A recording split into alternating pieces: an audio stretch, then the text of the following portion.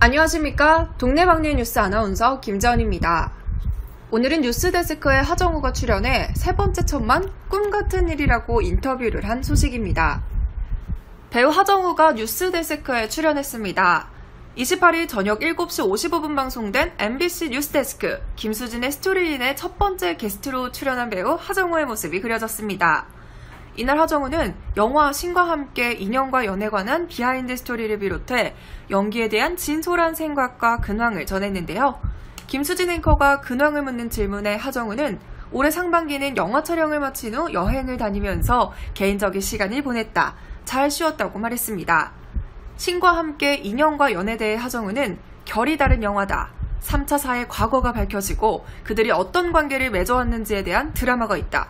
반전의 묘미로 다가설 수 있을 것이다 라고 소개했습니다. 또 하정우는 영화 암살, 신과 함께 죄와 벌에 이어 신과 함께 인형과 연으로 세 번째 천만을 노리고 있습니다. 너무 꿈 같은 일이다며 겸손을 표한 그는 내가 가는 의미보다는 신과 함께가 큰 사랑을 받았다는 것이 더 기쁘다고 진심을 드러내기도 했습니다. 개인전에 대해서도 언급했습니다. 내가 만난 도시 속 사람들에게 영감을 많이 받은 것 같다. 인간에 대한 궁금증 그리고 호기심이 그림을 통해 표현된 것 같다고 말했습니다. 최근 하정우는 미국 아카데미상을 주관하는 미국예술과학 아카데미가 위촉한 신입회원으로 이름을 올리며 한국 영화의 위상을 높인 바 있는데요.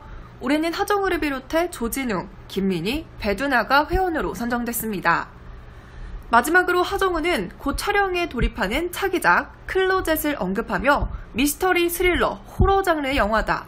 이 영화로는 내년쯤 찾아뵐 것 같다고 다작 배우의 위험을 뽐냈습니다. 한편 신과 함께 인형과연은 환생이 약속된 마지막 49번째 재판을 앞둔 저승사자 3차사가 그들의 천년 전 과거를 기억하는 성주신을 만나 이승과 저승, 과거를 넘나들며 잃어버린 비밀의 연을 찾아가는 이야기를 담고 있습니다.